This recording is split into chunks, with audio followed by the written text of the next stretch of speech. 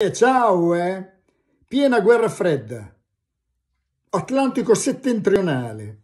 Ambientazione particolare. Fu sopra non si vede niente, acqua, acqua, ma sotto c'è Ottobre Rosso, sottomarino nucleare russo che sta testando un nuovo propulsore silenzioso.